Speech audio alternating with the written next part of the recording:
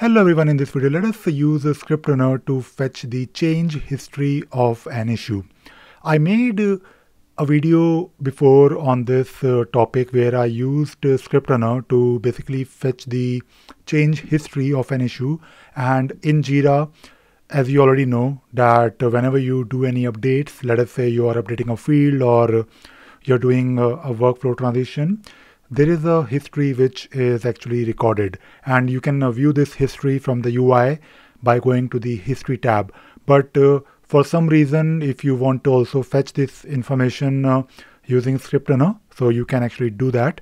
And uh, people use uh, change history for uh, various purposes like reporting or maybe you want to know what happened uh, with the issue maybe in the past. Recently, there was a question on the community where one user was asking about, uh, I want to understand, uh, I want to fetch the first, the very first assignee of the issue.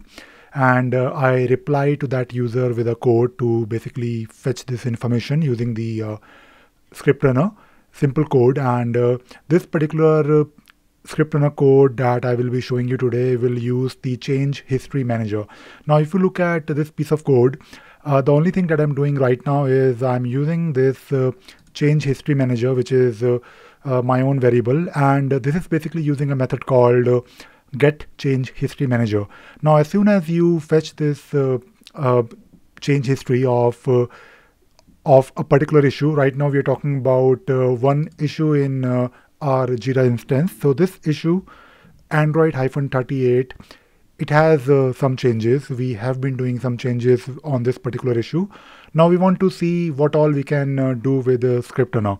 Now, if you want to fetch all the items that you have uh, or all the changes that you have uh, been doing on this particular issue, you can use uh, uh, another method called get all change items and it, it will take one parameter, one argument, uh, which is uh, the issue object.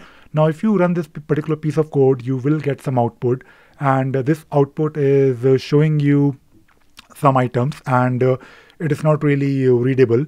So, what we need to do, we need to basically use, let us say, one more method called each. And if you want, you can actually fetch the individual fields or uh, various uh, things that you can fetch from the change history. Like uh, what field was changed what was the previous value what what is the new value and uh, when this particular change happened. So let us write some code uh, let us write some code to get more information out of this. Now i'll use uh, this each and i'll probably use something like it. And now if i want to know what all changes are uh, happening to various uh, fields, I can use something like uh, a field or from or to. So let, let us see how it works. And if you're new to script runner, you can use the new code editor, which is great in my opinion. And if you want to learn script runner, this is really uh, uh, useful. Now, if you press Control Spacebar on your keyboard, you will get this uh, list of things that you can do further with each and every uh, item in this particular uh, uh, list. And uh, what we need to do is we need to first find something like field. So this will show us the field that is basically changing that has changed. Now to display this, I will probably use log.debug so we can uh, go to the log tab and we can uh, basically see what changes or uh, you know what fields are changing. Now if, if I run this particular piece of code, I don't have any error, so which is good. I can see something in the log tab and I can see already that uh, we have uh, status, priority, and resolution, then again status, and so many things changing in the issue. So this is the field. Now let us add some more information to this particular uh, piece of code, I want to first uh, print out the date. So I'll probably add something like a date uh, or maybe created. I'm doing this because I already know that uh, the field or the uh, the actual uh, created will give me the actual date of this change. And let me just do it again. I'll probably add it in a better way. So I'll just uh, include this uh, colon in, in between so we can have this uh, printed nice nicely. So I'll uh, type it again it dot uh, I'll press uh, control space. And now I can select things like timestamp which is created. The, the name is created. I'll select this. I'll probably also add the actual value that has changed. So there is something called as it dot uh, from and if you're not sure you can again use the control control space bar. So I can select something like from value and I may want to delimit it.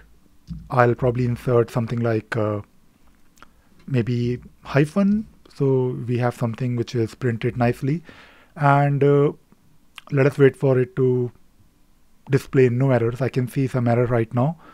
And uh, maybe I'm doing something wrong. So we have it dot from. Let me check with it dot from. And I'll anyways run this piece of code. And uh, let me see if I have any error. So I have, I have an error. And uh, I can see here that the error is complaining about uh, script console script failed. No signature method timestamp. Okay so I think it is complaining about the uh, date. So let me just check it again. So we have something like created and uh, I may want to convert it into a string just to keep things simple so we can uh, concatenate it. So we don't have any error, which is a good thing. So if we run this particular piece of code, I hope we'll get something. So we now have uh, this date information and I'm not really worrying about uh, formatting the date and uh, uh you know doing it nicely with just uh, you know let us say ddmmyy. It is the whole timestamp which is now converted to string and I did this to string because uh, I wanted to concatenate the whole thing so I can take a look at uh, various things that are changing. Now we can see the value, the initial value was low or maybe to do for a status. And we also want to see the value, the new value. So I can probably add something like this in the code. And uh, I'll add something like it.to.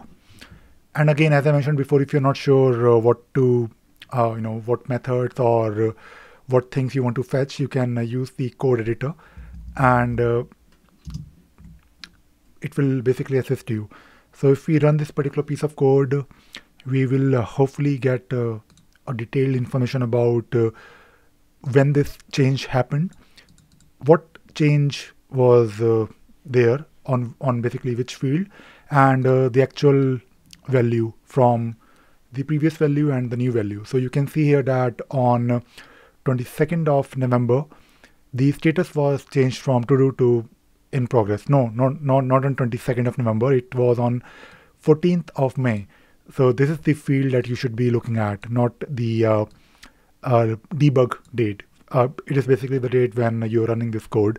Now, if you scroll down to the very bottom, you can see the most recent uh, date here. And of course, you can uh, sort the list based on uh, the date or the created date.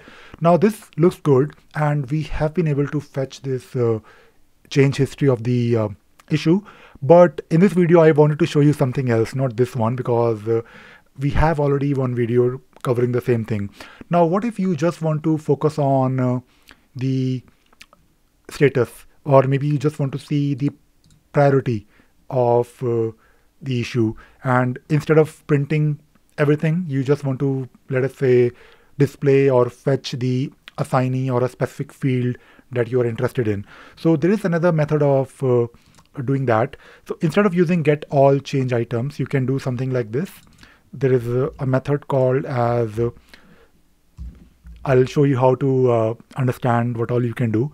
So I'll probably use control space and let us wait for it to display something like uh, this. Uh, so we want to see get, we want to use get change items for field. Now, if you use this uh, method, we have to pass into let me just you know scroll it up.